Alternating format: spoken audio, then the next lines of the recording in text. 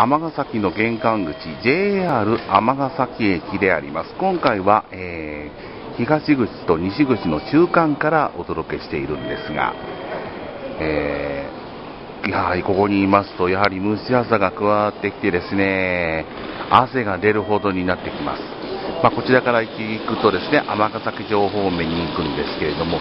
で今日はどこへ行くのかというと今はこの JR 尼崎駅のちょうど東、えー、西口の中間なんですがここからですね、えー、右の方に曲がってきてですねちょっと地図で隠れてしまうんですけれどもこちらのですね尼崎市記念公園の方までをですね、まあ、小さな距離なんですけれども、えー、ウォーキングしてみたいと思います。実はこの尼崎記念公園ちょっとこちらに行きましょうか、えー、都心のね、就寝の地図に変えますが、一度ですね、ぜひたぜひ行きたかったところなんですね。で、ここから行くと、もう玉江バス停もずっとまっすぐ行けば、もう阪神の尼崎駅の方に至ってに至るという、えー、コースなんですね。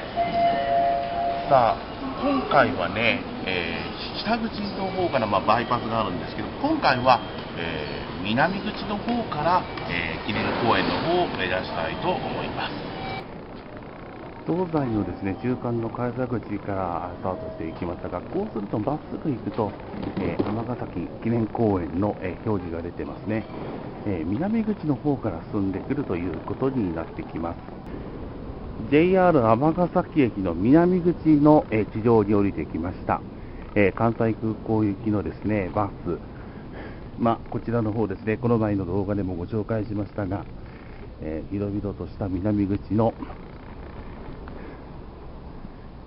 広場なんですけれども、こちらの方にですね、記念公園の標識、西へ700メートルと書かれています。そしてこちらにはタクシー乗り場に、ね、駐輪場があります。尼崎ステーションビル前の信号を渡るともうここをですね、まっすぐ進んでいくだけなんですね、記念公園へは。まあいろいろとこの記念公園には野球場があったり、陸上競技場があったりと、いろいろな施設がありますので、まあ、JR 線沿いをですね右に見ながら歩くということで、えー、どんな公園になっているかが非常に楽しみなところ、まあでもちょっと西側の方がちょっと雲が広がっているのが、ちょっと気がかりなところではあります。まあ、こちらに行っても、まあ、飲食店があったり、コンビニ、そしてパチンコ店があったりしてまして、まあ、こちらの方にはですね広々とした駐車場が広がっています。そして、えー、奥に行くと、えー、大きな高層住宅の集合住宅が見えます。でこちらから、えーとまあ、潮井方面になるんですけども、この潮井方面からこのバイパスを抜けてきてですね、えー、こうやって、えー記念公園側の南側の方へ移動することができます。こうやってですね、バイパス、地下の通る車用のバイパスもあります。ちょうどこの地点で500メートルということになりますが、ここに行くとですね、もう、えー、方向に行くと、金楽寺小学校ですね、えー金えー、災害避難所の、えー、金楽に指定されている金楽寺小学校へ、えー、向かう矢印が出てきます。そうするとですね、えー、緑のですね、囲まれたところが見えてきているかと思いますが、えー、この信号を渡りきると、えー、崎市、え、記念公園に、えたどり着くということになります。まあ、正面のところを、まあ、フィニッシュにしたいと思います。すると、その先にですね、野球場のナイター設備ですね、ナイター、野球場のものかと思われるナイターの設備も見えてくることができます。野球場からのですね大きな声援の音が聞こえてきましたけれども、ここに行くとですね右に傾けると JR 神戸線と、えー、福知山線の、えー、分岐する道があるということになります。あちょうど今、新快速電車が通ってきてますね。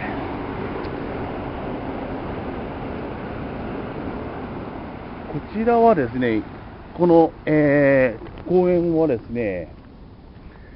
記念公園のまあ一つになってるみたいなんですね。まあ、こうやって緑の木がですね、何箇所かが植えられている大きな広場。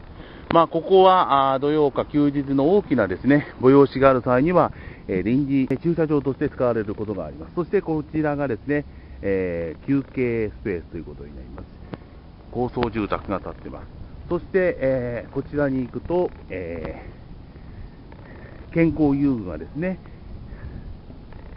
5つ置かれているということになります。で、こちらが正面ということになりますので、えー、では、あここに、えー、入り紹介したいと思います。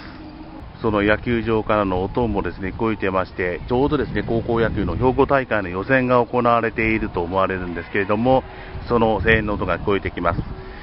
1キロ歩いて12分25秒、1227歩消費しての86キロカロリーということになりまして、その後のですね、この、えー、尼崎市総合公園についてはまた別の動画でご紹介できればということにしたいと思いますので、えー、この動画はここで打ち切りたいと思います。えー、JR 尼崎駅南口からベイコブ、えー、尼崎市記念公園の、え正面までをウォーキングしてきました。